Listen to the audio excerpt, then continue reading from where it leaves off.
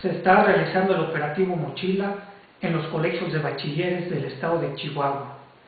Este operativo tiene como fin el indagar en las mochilas de los estudiantes para ver si traen entre sus útiles escolares algún tipo de droga o enervante que cause algún daño en su salud.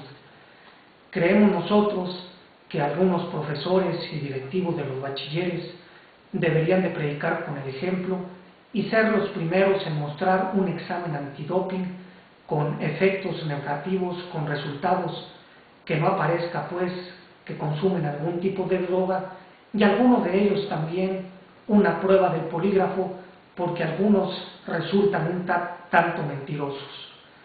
Por último, creemos que así como el buen juez por su casa empieza, para que también no haya lugar a dudas, se tiene que predicar con el ejemplo.